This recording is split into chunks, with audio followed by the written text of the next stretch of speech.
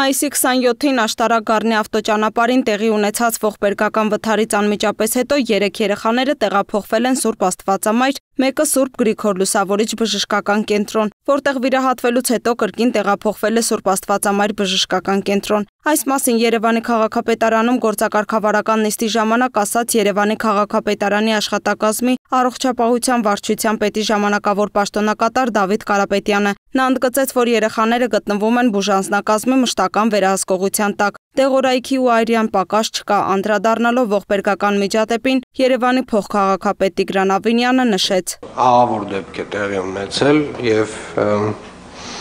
սա եւս մեկ անգամ գալիս է մեզ հիշեցնելու, որ մեզ մոտ դեռևս բոլոր կանոնները չեն, որ պահպանվում են, մասնավորապես ավտոմեքենայում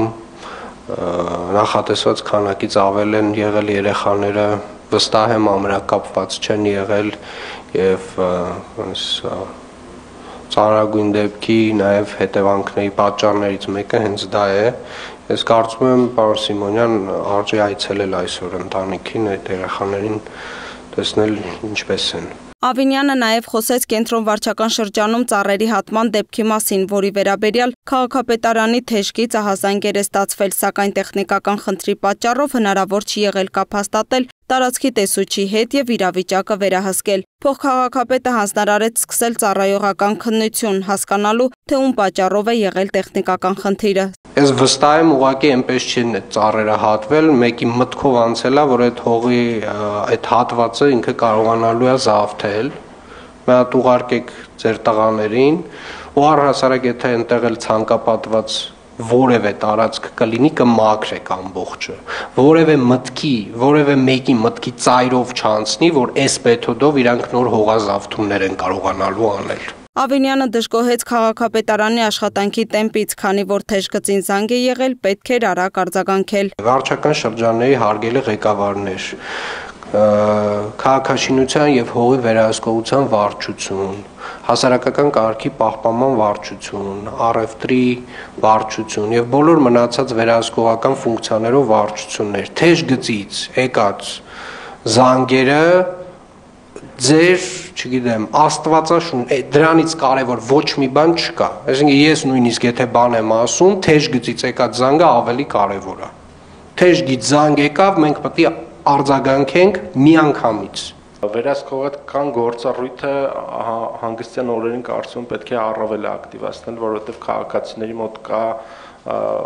տարիներից եկող ավանդույթ, որ ապօրինի գործողությունները լինի շինարարությունների, հողազավթումների, ծառահատումների հետ կապված, պետք է անել հենց հանգստյան օրերին, կարծելով թե քաղաքապետարանը եւ քաղաքապետարանի համապատասխան մարմինները տվյալ օրերին աշխատանքի չեն եւ հանգստյան օրերը առավել ռիսկային գոտի են կարծում եմ այստեղ մենք ակտիվացիա Շատ լավ, պարոն Գրիգորյան, առաջարկում եմ ես դիտարկումներ ընդունել իգիտություն։ Ավինյանը հետաքրքրվեց նաև երեխաների իրավունքների պաշտպանության օրվան եւ Արամ Խաչատրյանի ծննդյան 120-ամյակին նվիրված միջոցառումների կազմակերպման աշխատանքներից։ Ի պատասխան նշվեց, որ հունիսի 1-ին նախատեսված են լայնածավալ միջոցառումներ ազատության հրապարակում։ Ակնկալվում է 2000-ից ավելի երեխաների մասնակցություն։ Արամ Խաչատրյանի ծննդյան